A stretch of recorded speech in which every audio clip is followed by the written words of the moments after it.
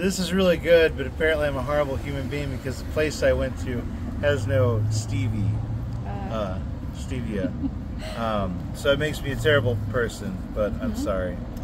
Anyway, uh, today I'm going to be opening up uh, two envelopes. Um, this is from December because I'm a lazy pile of garbage.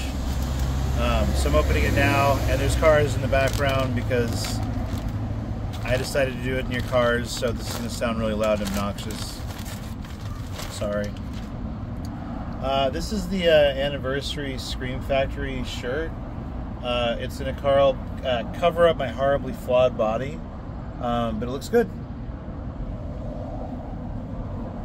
Anyway, um, and these are some random out of print DVDs that went, or sorry, Blu-rays that went back up on the Scream Factory uh, website for a little bit of time that I missed out on. So I saw they went up, and I'm like, oh, let me hand over my money. So uh, that is in the form of credit card. That's not really there. It's imaginary money that you're going to owe down the road. Unless you die first. Huh? Unless you die first. Oh, let's, uh, then if I die, then someone's got to pay for it, I'm sure. So that sucks. Uh, so this is the Watchers 2. Um, it looks like a turd monster. I, I don't know really much about it, other than uh, it went out of print really fast, and uh, I bought it.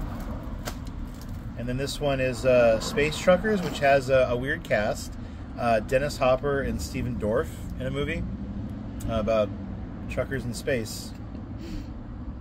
Uh, which this is from Stuart Gordon, who did Reanimator and a bunch of other crazy movies.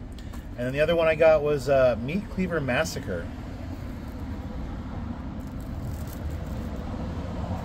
You're nodding because you're gonna have to probably watch this. yes. That wasn't a nod, that was a head shake. All right.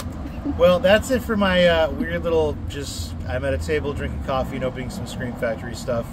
Um, yeah, I just uh, wanted to try this video out, and this is with my new fancy phone too. So hopefully the video looks a little bit better than normal. I guess we'll see. But uh, that's it.